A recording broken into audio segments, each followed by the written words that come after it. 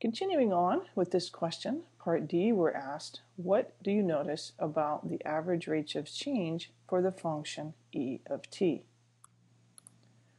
Well, if you go back and look at all the values that were computed in A, B, and C in the previous video, all of the rates were the same, and that was negative 77.2 feet per year.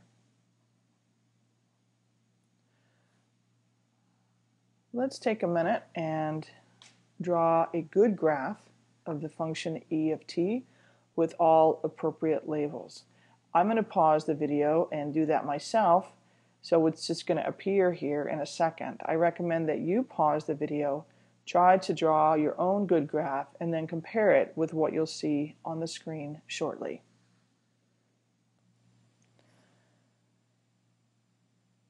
All of the items that I've drawn here or written here need to be contained in your graph so that you have drawn a good graph. And let's see what those are. We need to label our horizontal and vertical axis completely, including tick marks that are evenly spaced. Notice I'm spacing by threes on the horizontal and by fours on the vertical. That's okay as long as you're consistent between the horizontal and the vertical. You should label your tick marks.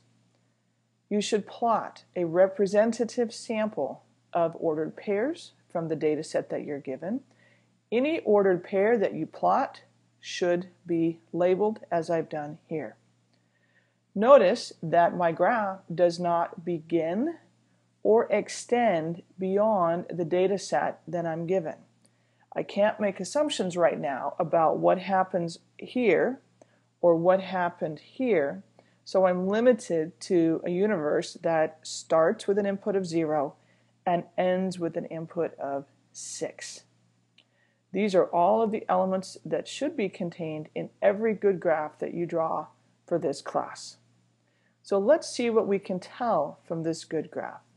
First of all, I'm going to go back to my calculator and if I go to my y equals, I can see that I have my equation there. I'm going to hit graph and see if I get something similar. And I'm not going to get anything similar because my window is not going to show me the points that are on this function yet. So let me go to my window and change some values. I'm going to start my x-min at 0 because I just talked about the universe that my equation lives in, 0 to 6. And then my y, I'm going to start at 0. And I'm going to take that up to 4,000.